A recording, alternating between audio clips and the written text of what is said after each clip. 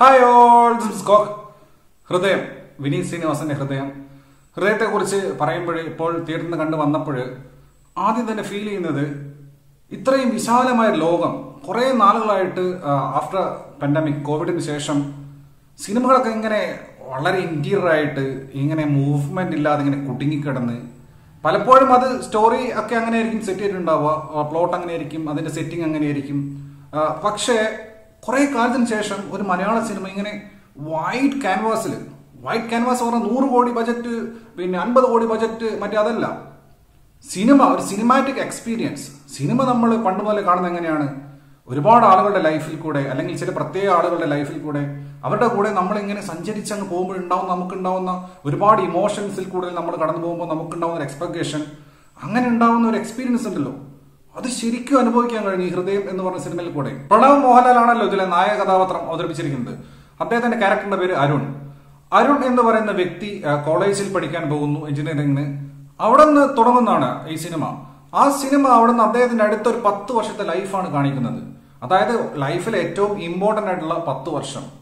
അത് ഏകദേശം രണ്ടായിരത്തിന്റെ പകുതിക്ക് തുടങ്ങി രണ്ടായിരത്തി പത്തിന്റെ പകുതിയോട് അവസാനിക്കുന്ന രീതിയിലാണ് സിനിമ കാണിച്ചിരിക്കുന്നത്.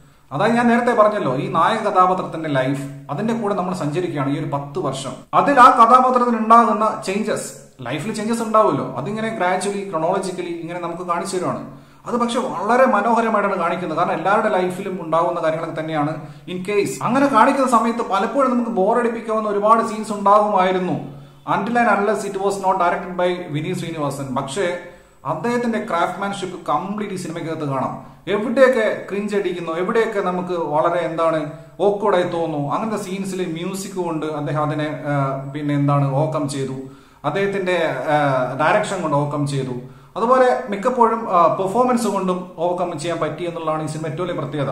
എടുത്തു പറയേണ്ടത് പ്രണവനെ കുറിച്ച് നിങ്ങൾക്കറിയാം ഒരുപാട് ആക്ഷേപം കേട്ടിട്ടുള്ള ഒരു ആക്ടറാണ് ലാലേട്ടന്റെ മകനായതുകൊണ്ട് തന്നെ എന്താ പ്രണവിന് ഓവർ എക്സ്പെക്ടേഷൻസ് ഒരിക്കലും മീറ്റ് ചെയ്യാൻ പറ്റാതിരിക്കുകയും ദുൽഖറായിട്ടുള്ള കമ്പാരിസണും ഇങ്ങനെ എല്ലാം കൊണ്ടും ലാലട്ടന്റെ മകൻ കൊള്ളൂല എന്നുള്ള ഒരു ഒരു രീതിക്ക് തന്നെയാണ് ആൾക്കാർ നോക്കിക്കണ്ടിരുന്നത്. ഒരുപാട് കാലങ്ങളായിട്ട്. ആദ്യം ഇറങ്ങിയ സമയത്ത് വലിയ കുഴപ്പമുണ്ടായിരുന്നില്ല. അദ്ദേഹം ആക്ഷൻസ് കൊണ്ട് പിടിച്ചിരുന്നു.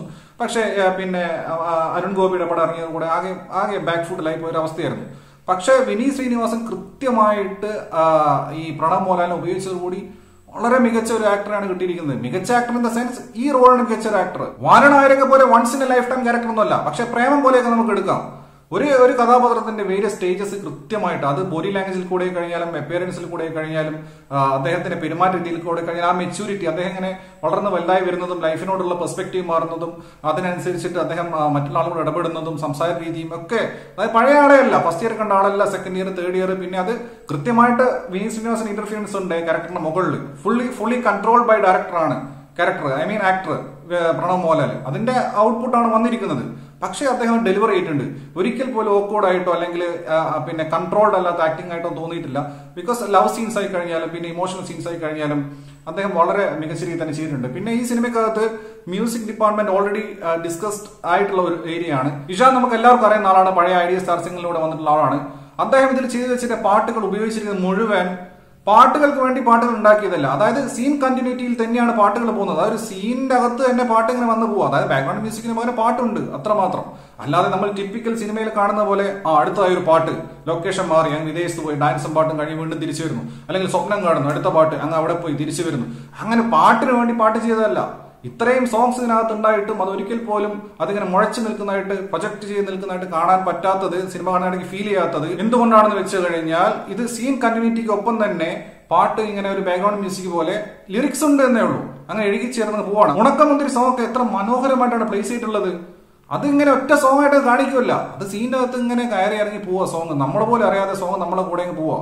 പിന്നെ ഒരുപാട് ക്യാരക്ടേഴ്സ് ഉണ്ട് എസ്പെഷ്യലി ഈ കഥാപാത്രത്തിന്റെ വളർച്ചയ്ക്കോടൊപ്പം തന്നെ. അതായത് അരുൺ എന്ന് പറയുന്ന പ്രണവ് മോഹൻലാൽ ചെയ്ത കഥാപാത്രത്തോടൊപ്പം തന്നെ അദ്ദേഹത്തിന്റെ കൂടെ പഠിച്ച ആളുകൾ അദ്ദേഹത്തിന്റെ പ്രണയം അതിൽ പങ്കാളികളായിട്ടുള്ള ആളുകൾ കാമുകിമാര് അങ്ങനെ ഒരുപാട് ആളുകൾ ഈ കഥാപാത്രത്തോടൊപ്പം തന്നെ പാരലായിട്ട് സഞ്ചരിക്കുകയാണ്.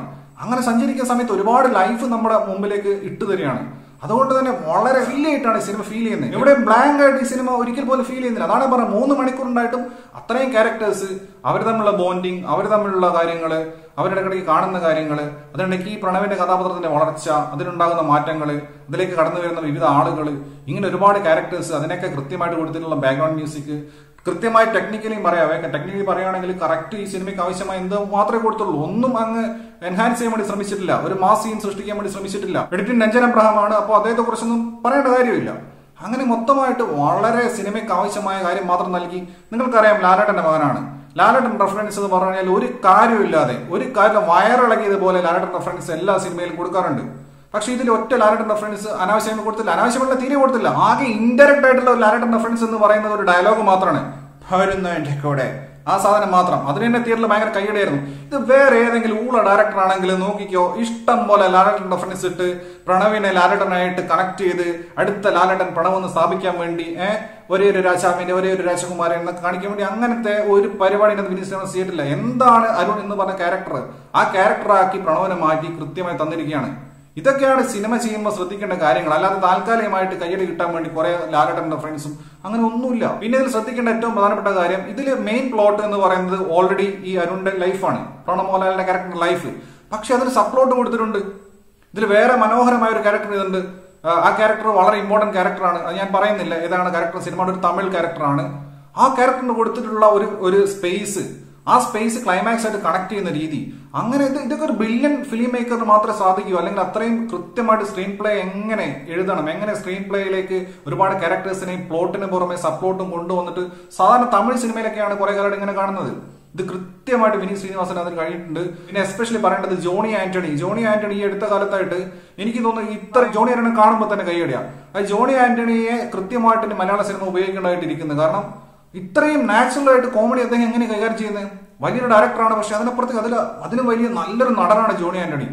എത്ര എത്ര സിമ്പിൾ ആയിട്ടാണ് അയാൾ എന്റർ ചെയ്യുന്ന കോമഡി ഒരു രക്ഷയില്ല ജോണി ആന്റണി. എനിക്ക് ഞാൻ പറയാൻ പോകുന്നത് സ്ട്രിക്ട്ലി മൈ പേഴ്സണൽ പെർസ്പെക്റ്റീവ് ആണ് എന്റെ പേഴ്സണൽ ഒപ്പീനിയൻ ആണ്. അതായത് ഇതിലെ മോസ്റ്റ് ഇമ്പോർട്ടന്റ് ക്യാരക്ടർ എന്ന് പറയുന്നത് ദർശന. ദർശൻ എന്ന് പറയുന്ന ക്യാരക്ടർ ചെയ്തിരിക്കുന്നത് ദർശന എന്ന് പറയുന്ന ആക്ട്രസ് തന്നെയാണ്.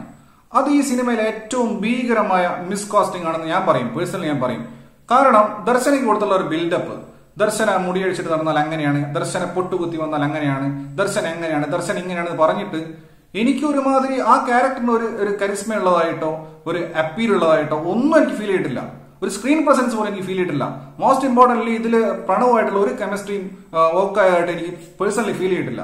എന്ത് ദർശനം? എന്ത് ദർശനയാണത്? എനിക്ക് സത്യം പറഞ്ഞാൽ ഫീൽ ചെയ്തത് ഡാഗിനി അമ്മൂമ്മനെ പോലെയാണ് എനിക്ക് ഫീൽ ചെയ്തിട്ടുള്ളത് ദർശനെ കാണുന്ന സമയത്ത്. ആ ക്യാരക്ടറിന്റെ ഒരു മനോഹാരിത കൺവേ ചെയ്യാൻ ഈ നടി മതിയായില്ല എന്നാണ് പേഴ്സണലി എനിക്ക് തോന്നിയിട്ടുള്ളത്. അത് അവരുടെ അഭിനയം മോശമായത് കൊണ്ടല്ല അവരെ പല ആംഗിളിൽ കാണിക്കുന്ന സമയത്തൊക്കെ തന്നെ എനിക്ക് ഭയങ്കരമായിട്ട് ഒരു എന്താ അവരെ ഭയങ്കര ഒരു ഒരു ദാരിദ്ര്യം പോലെ തോന്നി. എനിക്ക് ഭയങ്കര സാഡായിട്ട് തോന്നി. കാരണം എന്താണ് അവർക്ക് കോമ്പീറ്റ് ചെയ്യാൻ പറ്റുന്നില്ല. പ്രിയദർശന്റെ മകളുടെ ക്യാരക്ടറായിട്ടും മറ്റു ക്യാരക്ടറായിട്ട് അവർ നിൽക്കുന്ന സമയത്ത് എന്തോ മിസ്മാച്ച് പോലെ ഒരു ഓഡ് വൺ ഔട്ട് പോലെയാണ് എനിക്ക് തോന്നിയിട്ടുള്ളത്. ഈ സിനിമ കണ്ടതോടുകൂടി പ്രണവ് മോഹൻലാൽ എന്ന് പറയുന്ന നടൻ മോഹൻലാലിന്റെ മകൻ എന്ന നിലയ്ക്കില്ല പ്രണവ് മോഹൻലാൽ എന്ന് പറയുന്ന നടൻ അദ്ദേഹത്തിന് ഗ്രാജുവലി മലയാള സിനിമയിൽ ഗ്രിപ്പ് ഉണ്ടാക്കിയെടുക്കാൻ പറ്റും. ഇതുപോലെ നല്ല സിനിമകൾ ചെയ്ത് പിന്നെ ഇതിൽ പല സീൻസിനും നല്ല സ്ക്രീൻ പ്രസൻസ് ഉണ്ടായിരുന്നു. അദ്ദേഹത്തിന്റെ സ്റ്റൈലൊക്കെ നന്നായിരുന്നു.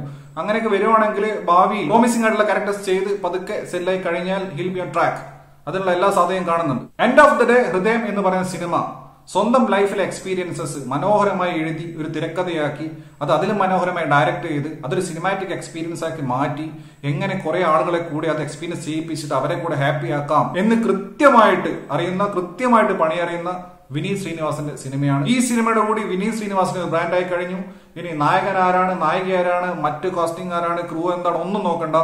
വിനീത് ശ്രീനിവാസൻ സിനിമയാണോ ധൈര്യമായിട്ട് കാണാം എന്നുള്ള ഒരു നിലയിലേക്ക് ഹൃദയം കഴിയുന്നതോടുകൂടി വിനീത് ശ്രീനിവാസൻ വന്നിരിക്കുകയാണ്.